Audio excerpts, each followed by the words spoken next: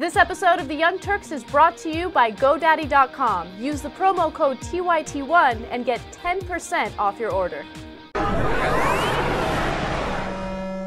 Turns out Senator Luther Olsen, Dale Schultz, and Sheila Harsdorf uh, have farms. And on those farms, uh, between 1995 and 2009, they have taken $300,000 of taxpayer funds.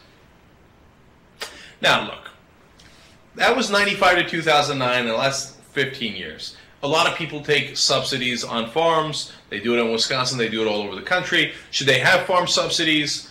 You would think that would be against the free market if you were a conservative Republican, as they are.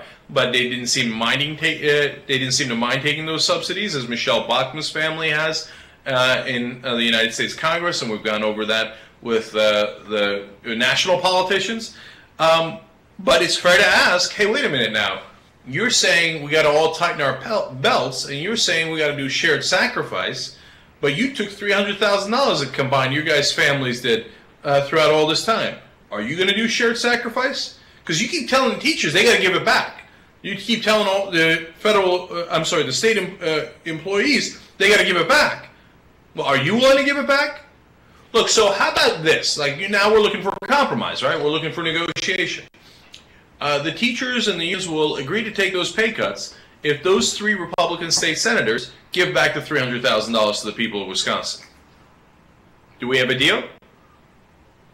Oh, we don't? Huh, that's interesting. Because my guess is they're going to say, oh, me give the money back? No, no, no, no, no. I take the money. I don't give the money. I take the money from the teachers and the cops and the firefighters, etc. You think I'm going to Republican give the money back? Hell no. That's going to be my guess. Hey, I could be wrong.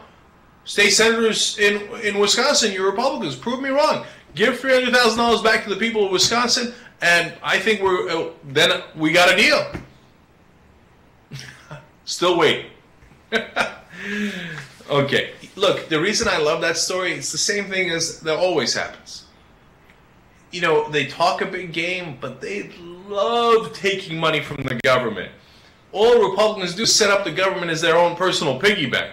And then when anybody else, the poor, the middle class, get a little assistance from the government, they go, how dare you, you welfare queens, unions.